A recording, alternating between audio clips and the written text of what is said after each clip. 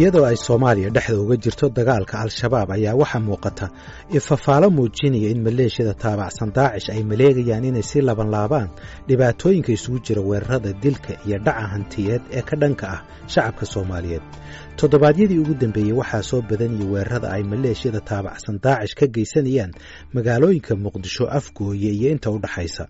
Xarumaha falanqeeya argagixisada waxay sheegeen inay daacish sanadkan oo keliya geysteen tobannaan weerar oo isugu jira khaarajin iyo qaraxyo ka dhana xubno ka tirsan booliiska nabad sugidda iyo dad rayid ah oo ay ku jiraan nabadoonno ganacsato aqoon-yahano iyo dadweyne kale.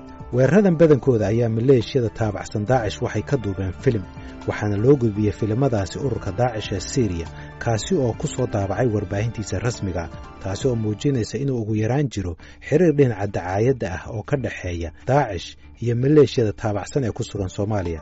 Haddaba yaa hogaamiye maleeshiyada daacish ee koonfurta soomaaliya. Maxayse tahay istiraatiijiyadoodu? Si aan jawaabo ugu helno waxaa galka baadhista uu la sheekaystay xubno takhasus u leh xagjirnimada iyo saraakiisha dhinaca amniga ee dowladda soomaaliya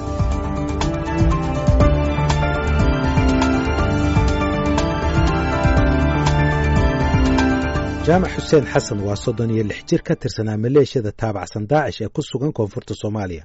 bishii abriil ee sanadkan ayaa ciidamada dowladda soomaaliya ay ka soo qabteen meel u dhow degmada afgooye isagoo xilligaasi doonaya inuu miino u dhigo ciidamada amniga. jaamaca hore uga tirsanaan jiray al-shabaab waxa uu ka tegey koonfurta soomaaliya waxaana uu u safray waqooyi bari si uu ururkaasi ula jaan qaado kadibna waxaa dib loogu soo celiyo koonfurta si uu weeraro u geysto.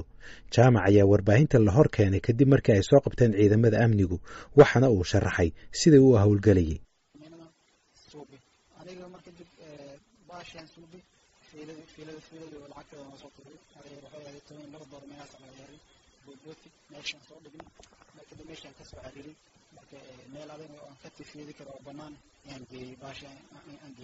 oo macnaha bateriga meelska balaaska loogu qaban karo. Marka si loo qaban karo marka xaafadeeda tegey waxaan soo qaatay waxaan soo qaaday bateriga bateriga iyo macnaha xaliga kaamirada soo qaada kaamirada lagu keeno soo qaado. Waxaan joogay waddada dheer oo isku xirta xarbiski iyo boodboodka udhexeysa maa geedaa fidhi marka marka anoo meesha fidhi marka mooto socoto askari yaa meesha igu timid marka laba askari ay saaran tahay meesha marka maxay kaasa marka waxaan dhanay bawalan soo qof musaafuraan marka waxay dhaheen waa kaa marka waxay dhaheen aniga wax dhibna kuma geysanin waxaan ku soo baarin oga way dhaheen. Siday ugu wadeen marka sidai laigu soo waday? Bishii jula ee sanadkan ayaa maxkamadda milatarigu ay jaamac xasan xuseen ku xukuntay xabsi daa'im. Isla bishaasi julaay waxaa maxkamadda milatariga la hor keenay xubno sare oo ka tirsan ururka daacish garabkiisa soomaaliya waxaana xubnahaasi ka mid ahaa mahad maxamuud cabdi oo ku magac dheer abuyaasiin oo lagu soo ogay inuu beeco siiyey hogaamiyaha daacish abuubakar albakdaadi iyo maxamuud daa'uud warsame doctor raage oo lagu eedeeyey inuu dhinaca maaliyadda u qaybsanaa daacishta soomaaliya waxaana bishii xigtay lagu xukumay shan iyo toban sano oo xarig ah midkiiba. Haatan waxaa la aaminsan yahay in weerarada ay geysanayaan maleeshiyada taabacsan daacish iyo tiradooduba ay ku soo badanayaan magaalada muqdisho iyo agaarkeeda weerarada daacish waxay ahaayeen kuwo sii kordhayey waxaana mararka qaarkood laysku qaldayey in weeraradaasi ay yihiin kuwo ay geysanayaan maleeshiyada al-shabaab iyo inay yihiin kuwo ay ka dambeeyaan daacish gaashaanla sare xasan cali nuur shuute waa guddoomiyaha maxkamadda darajada koowaad ee ciidamada qalabka sida. Mas'uulna waxa uu ka ahaa xukunka lagu riday xubnaha ka tirsanaa daacish sidii shabaabkao kale in loo aqoonsado marka way ku dadaalaysaa daacish waxyaabahay samaynaysa marka isay arrintaas u gaarto waxaa ka mid a in mataqaanaa ay ficilada ay sameynhayaan ay duubis ku sameeyaan ay duubaan si ay caalamka u sheegaan inay jiraan maxaa la yidhaahdaa una helaan baad ganacsatada laga qaado iyo shakhsiyaadka ama shirkadaha ficlan markii shirkadda ama ganacsiga iyo waxaas la weydiiye baadne? Waxyaabahay weydiinaya waxaa ka mid a halkeen kugu imaanaa maxaase inteed joogta aan wax kugu siinahay ay leeyihiin?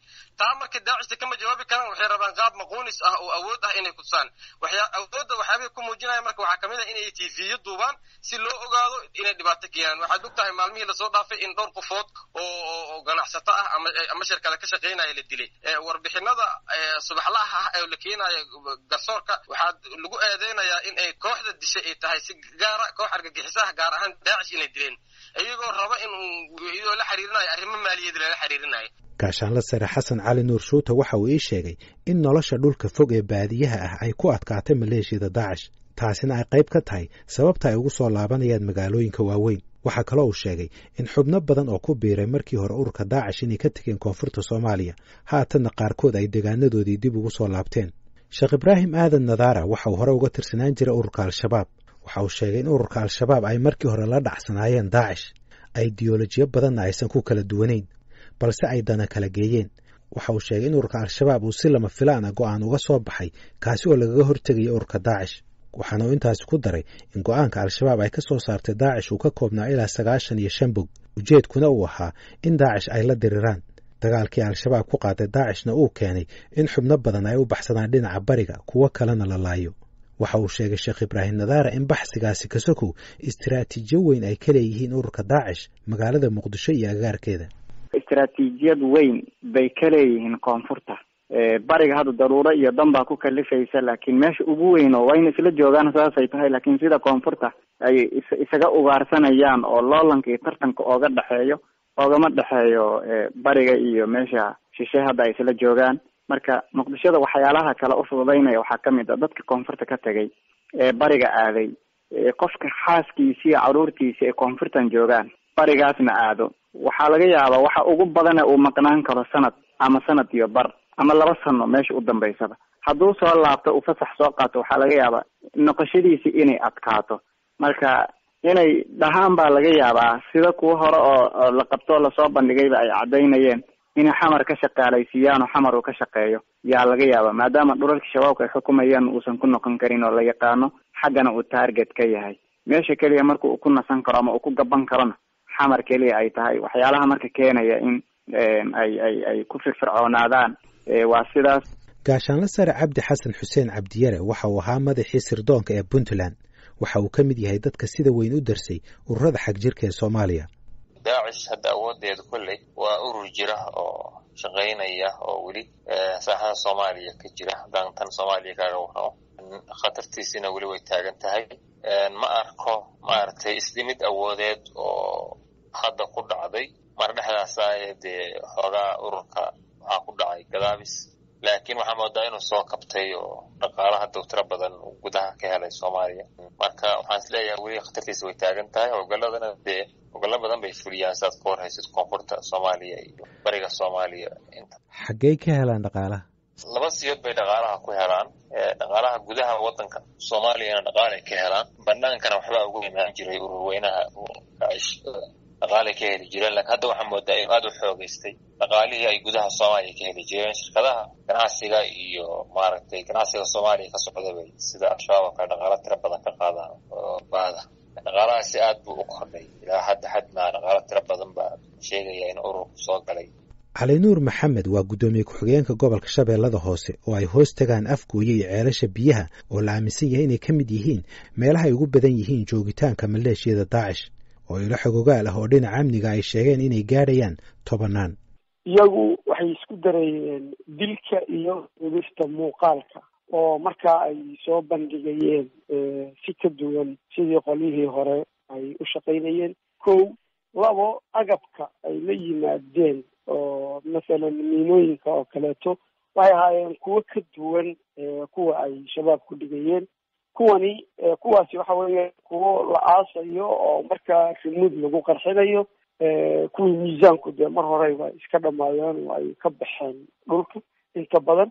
Laakiin kuwani waxay la yimaadeen inkastoo mar dambe qoladan kalena ay isticmaaleen shabaabku miinooyin sida sabanka oo kale la tuuri karo oo boodaya oo inta waddada dhinaceeda la geliyo yacni ku boodaya halka loo rabo. Marka waxyaabahaas sida ay u howlgalaanna way ka duwanayd agabkuna wuu ka duwanaa duubistan iyo iyagu laba qof ka badan may may diri jirin ama saddex ugu badnaan isla ismay raacraacaynin wax dhuumanaya oo haddana koox dhuumanaysa ka sii dhuumanaya sidoodii bay u shaqaynayeen. Haddana iyagaa ka badhigis badnaa oo iyagu actionkii tillaabadii ay qaadaan ficilkii ay sameeyaanba way intay soo duubaan bay soo dhigayeen. Waa gartay. Marka awooddoodu intay la eg tahay maxaan ku idhaha tiradooda maxaad ku qiyaasi lahayd dadka hadda ka jooga degaanadan xamriga agaarkeeda waxaan is leeyahay horta tira ahaan dad badan maaha dee hawsha ay hayaan oo ah in uun wax la dilo lana cararo la dhunto si haddana wax kale loo dilo iyagu waa intaa yacni marka dhibku dee qof la dilay waa wax weyn weeyaan waa ficil weyn saameyn badan buuna leeyahay laakiin cidda wax dishay way kooban tahay. Marka tira ahaan ismeliya anugu hadda waxay xitaa gaarayaan laba boqol oo qof inta dhulkan ka joogta. Laakiin waa dad farsamo iyo dhuumaalaysi iyo uuna ku jira. Iyagu laakiin number ahaan waa number aada u yar runtii. Maxaa tartanoo ka dhexeeya daacish iyo shabaab? Iyagu dilkan ma heshiisay ku yihiin oo waxba isma yeelaan dhexdooda mise iyaga laftigooda tartan baa ka dhexeeya tartan weliba waxaa ka dhexeeya aada u xoog badan. Runtii way isdilaan shabaabku ma ogola daacishtu inay ku dhex noolaadaan. Marka markii hore oo anigii kulahaa koox dhuumanaysa ayay ka sii dhuumanayaan. Waxa weeyaan shabaabkiina way ka dhuumanayaan shaqadanna way haystaan. Dee wayna ciloobeen oo dad hadda ku heshiis ah. Xitaa qandaraaska ay wada haystaan oo dilka dadka soomaalida ah xitaa iyagu heshiis kuma sii aha marka iyaguna waa col dadka soomaaliyeedna waa u wada acday waxaa haddaba dhowaan soo baxday in magaalada muqdisho lagu dilay. Mid ka mid a madaxda ururka daacish oo lagu magacaabo mahad macalin maxamuud kuna magac dheeraa caanageel mahad waxa uu qaabilsanaa dhinaca howlgallada waxaana dad badan la yaab ku noqotay in hogaamiye darajo sare leh oo ka tirsan daacish uu u soo badheero inuu yimaado magaalada muqdisho. Hay'adaha sirdoonku waxay aaminsan yihiin in dilkiisu uu dhacay saddex iyo tobankii bishii oktoobar uuna ka dhacay deegaanka lagu magacaabo zone key oo ka tirsan degmada hodan. Hay'adaha amnigu waxay ku kala aragti duwan yihiin cidda dilkaasi geysatay. Mas'uul ka shaqayn jiray arrimaha sirdoonka waxa uu ii sheegay inay caddaatay in dilkaasi ay geysteen xubno ka tirsan ururka daacish oo khilaaf uu kula dhexeeyey mahad caanagel balse dhinaca kale waxaa jira xubno ka tirsan saraakiisha amniga oo ku kalsoon in dilkaasi ay geysteen maleeshiyada ururka al-shabaab. Cabdi xasan xuseen cabdiyare waa madaxii hore ee sirdoonka puntland waxaana uu ka mid yahay dadka aaminsan in dilkaasi ay geysteen maleeshiyada ururka al-shabaab. Sidaa xaqiiqda u dhow haruunow waxaa la sheegayaa in maaragtay xubintaasi ay dileen ururka maaragtay kale ay ku loolamaan soomaaliya oo ururka al-shabaab ah ayaa la sheegayaa ninkaasi dilkiisa inay runtii geysteen matii ugu horeysana ma ahayn labada urur si fiican bay isu ubaarsadaan marka ugaarsigii ay al-shabaab ku haysay kooxda daacish unbuu ka mid ahaa marka ninkaa hal waxaan sida xogta ku hayn nimankaasa gacanta lahaa geystay sababtana miyaa la ogyahay sababtu dee waa iska caddahay ma maqashay qore laba xero kuma heshiiso nimankaani dagaalkoodu ka dhexeeya shabaab ilaa intii daacash ku dhawaaqday inay ka jirto al-shabaab waxay qaaday cambain xoog oo ay ku daynayso kuna xirxirayso kuna ciribtirayso xubnaha u janjeersaday dhanka daacish ama fikradda daacish qaatay muddayna soo taxneed ilaa labadii kun iyo shan iyo tobankii ilaa hadda sheekh ibraahim nadaara waxa uu leeyahay inkastoo khilaafuu ka dhexeeya labada urur ee al-shabaab iyo daacish haddana waxay isaga mid yihiin inay la dagaalamaan dowladda soomaaliya. Inkastoo taasi lafteedu aysan ka dhignayn inuu jiro heshiis ka dhexeeya labadooda dabcan horta iyaga iyo shabaabku dowladda wiiqideedii way ka siman yihiin laakiin haddana midba midka kaleeto inuu meesha uga xoog badiyo oo saydarada iyo qabsashada maamulka soomaaliya magaciisa lagu qabsado ayuu doonaya. Ayagu marka nooca waxay u eg yihiin hadda in cagta lagu hayo oo la cadaadinayo oo shabaabka uu cadaadinayo u diidan yahay inay meesha ku ciriiriyaan ay soo galaan laakiin in dowladda awoodeeda la weeqo ama lala diriro way ka siman yihiin. Dagaalka ayaga ka dhexeeyana waa midba midka kalu booska ka riixanaya oo bariga hadda ma aha meel ay ku tarmi karaan siday koonfurtu ay ugu sahlan tahay in labada qoloba ay ku tarmi karaan markii loo fiirsho xagga shacabka iyo juqraafi ahaan dhulka naftirkiisii dhulka waa dhul hood ah oo buura leh oo meel lagu gabado ama lagu dhuunta leh laakiin dadka jabhadaha ah ooma baahna keliya howdadka iyo buuraha iyo duur iyo ooma baahna keliya waxay rabaan bulsho nidaam lahayn fawda ka dhex jiro oo isku hoggaan ahayn oon isku aragti ahayn midba midka kale uu ka soo horjeedo. Bi-aadkaas iyo environmentgaasay ku kori karaan oo ay ku tarmi karaan oo qaybo ka mid ahna bulshadu ay ay ay taageersan tahay qayb ka mid ahna aynan taageersanayn. Laakiin bulsho dadkanba ku cusub oon weligoodna arag oo aana soo dhawaysanaynin waxna aan ku darsanaynin inay ku dhex koraan way adkaaneen. Marka waxay marba mar walba isugu dayaan inay koonfurta meel un ka kaga samaystaan. Waa meesha keliya ku tarmi karaan. Qoladaana waa meesha keliya ku dirirayso ay u diidan tahay hataa iyaga iska daaya urur kaleeto inuu ka soo baxo oo daraaddeed arrintaa daraaddeed ay ula dirireen xisbul islaam ay u baabi'iyeen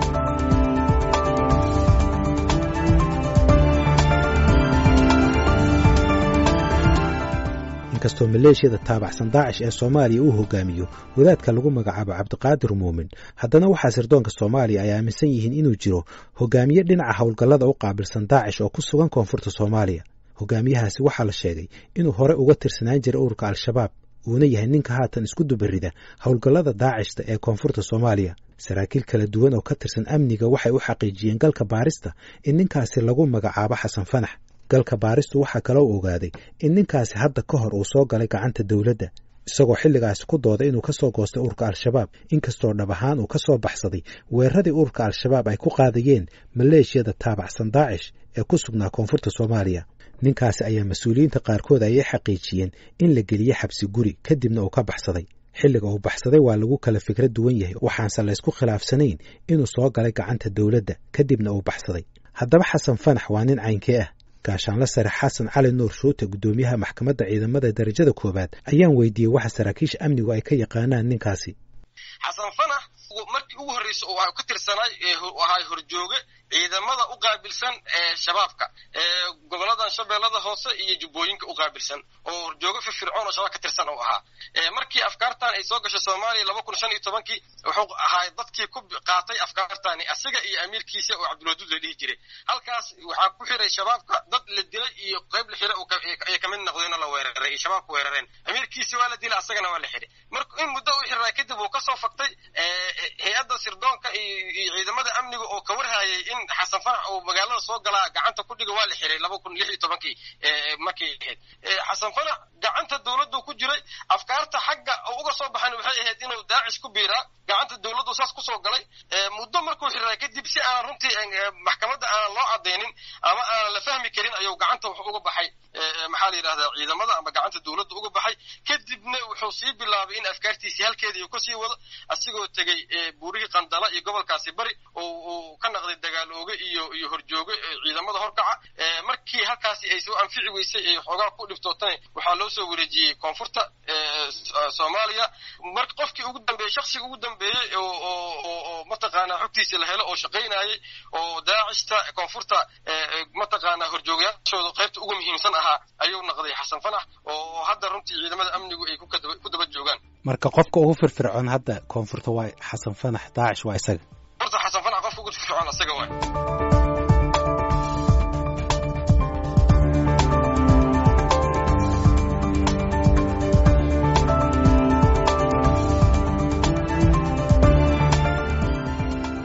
Su'aashu waxay tahay haddaba waa maxay istaraatiijiyada dowladda federaalka iyo tan maamul goboleedyada ee ku wajahan inay ka hortagaan halista labadan urur sheekh ibraahim nadaara waxa uu talooyin u hayaa madaxda dowladda soomaaliya sidii ay ku waajihi lahaayeen halistan. Waxaana uu isagu ku doodayaa inaan wax badan laga kororsan waayo aragnimadii la dagaalanka ururada xagjirka ee soomaaliya. Inkastoo toban sano haatan ay ka soo wareegtay dagaalka noocan ah ee ay ku jireen dowladihii isaga dambeeyey maamulka soomaaliya.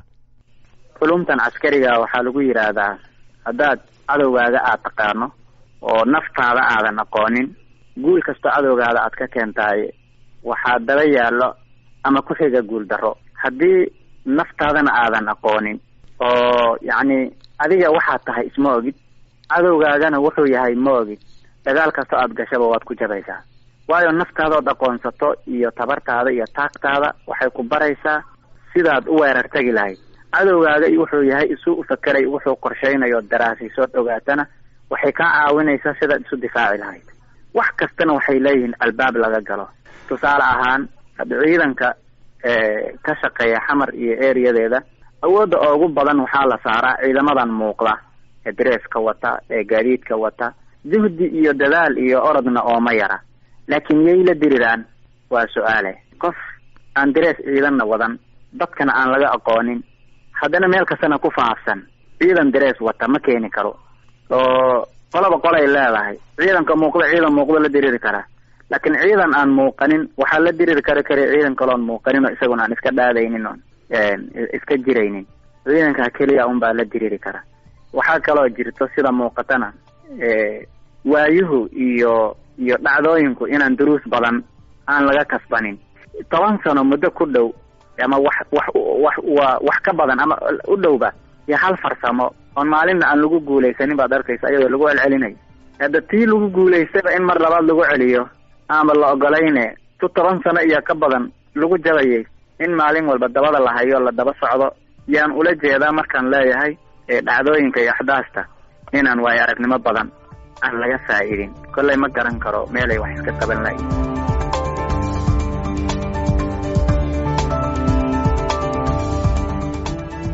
hogaamiyaasha dowladda federaalka ayaa sheegay xilligii la doortay inay muddo laba sano ah ku soo dhisayaan ciidan la dagaalama kooxaha argagixisada ah islamarkaana mas'uuliyadda amniga kala wareega ciidamada amisom.